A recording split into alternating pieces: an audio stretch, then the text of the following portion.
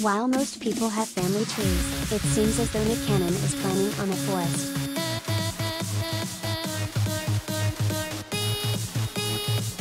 The comedian is currently gearing up to welcome a baby with model Tiesi. This will be Tiesi's first child and Cannon's eighth.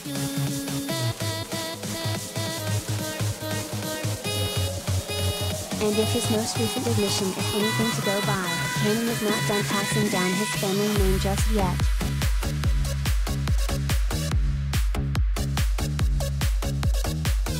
On Tuesday's episode of the Lip Service podcast, the 41 year old revealed he is expecting more children this year.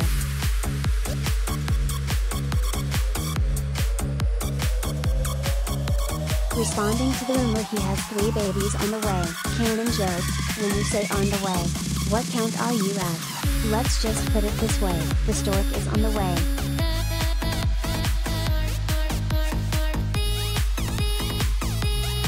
And when asked to clarify if he's expecting three children later this year, Cannon remained tight-lipped, teasing, I don't know, it could be.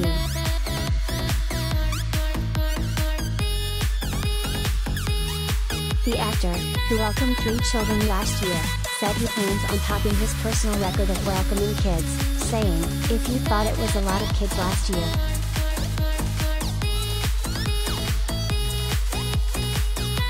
When asked if fans can expect more kids from the star come September or October of this year, Cannon joked, Y'all are pretty good at math.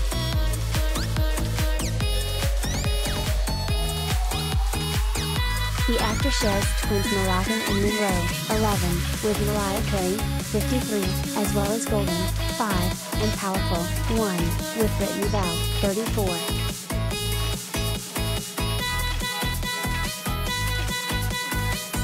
The former Nickelodeon star welcomed twins Zion and Zillion, 11 months, with Abby De La Rosa, 31, in June 2021.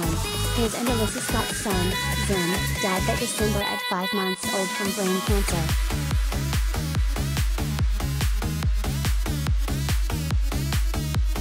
Cannon recently revealed he is considering getting a vasectomy.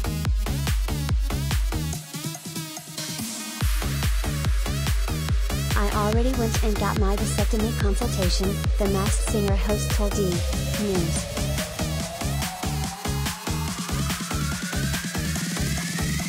I ain't looking to populate the earth completely, but I'm definitely looking forward to taking care and loving all the children that I currently have, he added, noting he is not out here looking for more kids.